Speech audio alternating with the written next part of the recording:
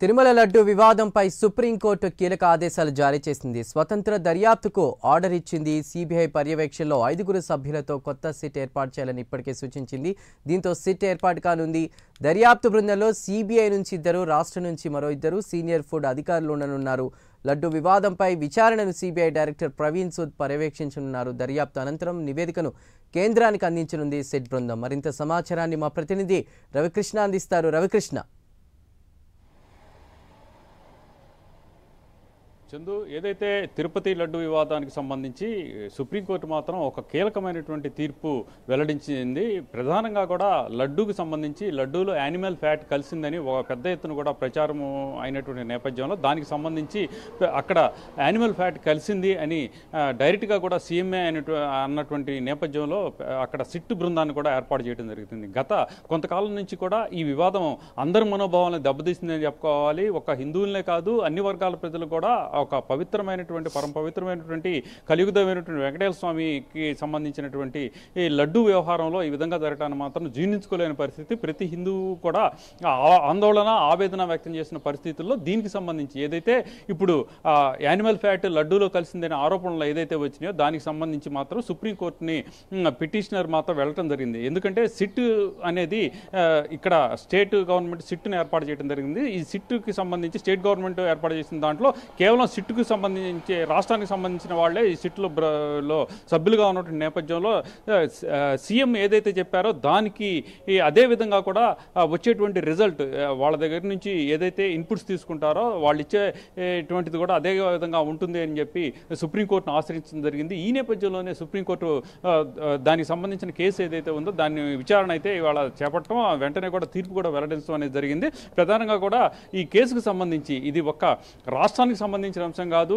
దేశము దేశం మొత్తానికి ప్రపంచవ్యాప్తంగా ఉన్నటువంటి హిందూ మనోభావాలకు చెందినటువంటి అంశం కాబట్టి ఈ అంశాన్ని కేవలం రాష్ట్ర పరిధిలోనే చూడకూడదు. విస్తృతంగా చూడాలి అనేటువంటి నేపథ్యంలో ఎవరైతే జస్టిస్ uh, గవాయ్ ఉన్నారో ఆయన అయితే మాత్రం తన తీర్పును వెల్లడించడం జరుగుతుంది జరిగింది. ప్రధానంగా ఇక్కడ ఏదైతే సిట్టుకు సంబంధించి ప్రత్యేక దర్యాప్తు సంస్థ సిట్టు సిట్టు దర్యాప్తు సంస్థను ఏర్పాటు చేయాలని చెప్పడంతో పాటుగా కూడా కేంద్ర దర్యాప్తు సంస్థ నుంచి అంటే సిబిఐ నుంచి ఇద్దరు uh, ఇద్దరు సభ్యులు అదేవిధంగా కూడా రాష్ట్ర ప్రభుత్వం నుంచి ఎక్కడ ఎక్కడైతే తిరుమల తిరుపతి దేవస్థానం నుండి ఏపీ రాష్ట్ర ప్రభుత్వానికి సంబంధించి అక్కడి నుంచి ఇద్దరు సభ్యులు అదేవిధంగా కూడా ఫుడ్ సేఫ్టీ అధికారులు అసలు ఇక్కడ ఎంత మేరకు అసలు కలిసిందా లేదా అక్కడ యానిమల్ ఫ్యాట్ కలిసిందా లేకపోతే ఏమిటి కలిసింది అనేది నిర్ధారించేందుకు ఇక ఈ ఫుడ్ సేఫ్టీ అధికారి ఒకరిని కూడా నియమించినటువంటి పరిస్థితి. అంటే ప్రధానంగా కూడా ఎప్పుడు ఒక దర్యాప్తు సంస్థను కనుక వే- వేసినటువంటి సందర్భంలో అది కేంద్ర దర్యాప్తు సంస్థ నుంచి కానీ లేకపోతే రాష్ట్ర దర్యాప్తు సంస్థ నుంచి కానీ దర్యాప్తు అనేది కొనసాగుతుంది. దర్యాప్తు కొనసాగిన తర్వాత వాళ్ళు ఇచ్చేటువంటి నివేదిక ఆధారంగా కూడా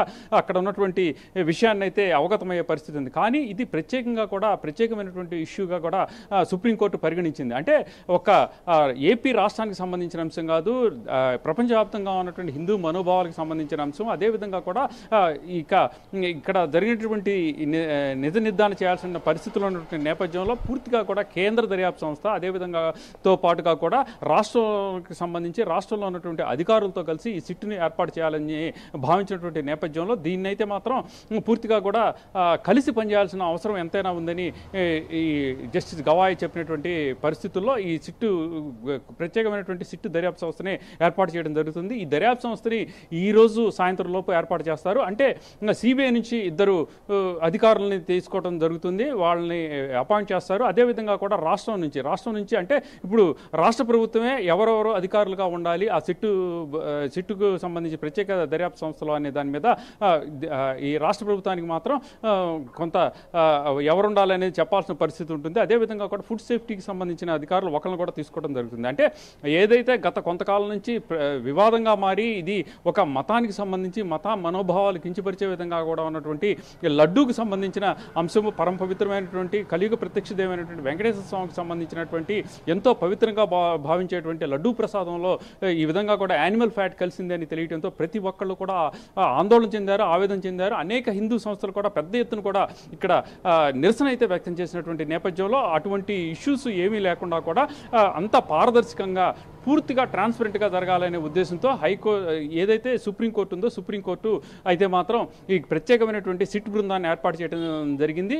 ఏదైతే ఇక దీనికి సంబంధించి ఎవరైతే సుప్రీంకోర్టుని ఆశ్రయించారో ఆశ్రయించిన సందర్భంలో అక్కడ కపిల్ సిబాల్ మాత్రం తన వాదనలు అయితే విమర్శించడం జరిగింది. అంటే ఆయన చెప్పింది ఒకటే సిట్ సిట్టు ఏదైతే సీఎం చంద్రబాబు నాయుడు ఆ రోజు ఏదైతే ఈ లడ్డు ప్రసాదంలో యానిమల్ ఫ్యాట్ ఉందని చెప్పినటువంటి నేపథ్యంలో ఆయన ఏర్పాటు చేసినటువంటి సిట్టు సభ్యులు ఆయన చెప్పిన దానికే ఒబే అవుతారు. ఆయనకి మాత్రమే ఆయన చెప్పిన విధంగానే కూడా ఆయన రిపోర్ట్ ఇచ్చేటువంటి పరిస్థితి ఉంటుంది. కానీ అలా కాకుండా కనుక ఇక ప్రత్యేక దర్యాప్తు సంస్థ కనుక ఉన్నట్లయితే మాత్రం దాంట్లో నిజానిజాలు నిగ్గు తేల్చేసి యాక్చువల్గా ఉన్నదేమిటి జరిగిందేమిటి అసలు దీంట్లో ఈ లడ్డూ ప్రసాదంలో సంబంధించి లడ్డూ ప్రసాదంలో ఈ- ఈ విధంగా యానిమల్ ఫ్యాట్ కలిసిందా లేదా అనే దాని మీద ఒక నిర్దిష్టమైనటువంటి ట్రాన్స్పరెంట్గా కూడా ఒక రిపోర్ట్ ఇచ్చేటువంటి అవకాశం ఉంటుంది. కాబట్టి కంపల్సరీగా కూడా దీనికే వాళ్ళు ప్రమోట్ చేసినటువంటి ఆయన ఏదైతే కపిల్ సిబాల్ చెప్పినటువంటి వాదనకి వాళ్ళు ఒబే అయ్యారు అదేవిధంగా కూడా జస్టిస్ గవాయ్ మాత్రం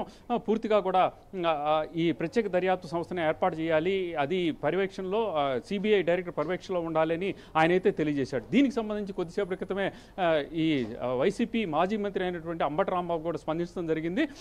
ఇట్లా ప్రత్యేక దర్యాప్తు సంస్థను కేంద్ర ప్రభుత్వం కనుక వేసినట్టయితే మాత్రం దానికి ప్రత్యేకంగా కూడా అక్కడ జరిగినటువంటి నిజాం నిజు నిగ్గు తేలేటువంటి అవకాశం ఉంది అని చెప్పడమే కాకుండా. కూడా ప్రధానంగా కూడా సత్యమేవ జైతే అని కూడా ఆయన చెప్పినటువంటి పరిస్థితి ఉంది. ఏది ఏమైనప్పటికీ కూడా సిట్ దర్యాప్తు సంస్థ ప్రత్యేక దర్యాప్తు సంస్థను ఏర్పాటు చేయడంతో మాత్రం చాలా వరకు హిందువులందరూ కూడా హర్షాన్ని వ్యక్తం చేసిన పరిస్థితి అయితే ప్రస్తుతం కనపడుతూ ఉంది. Right Ramakrishna thank you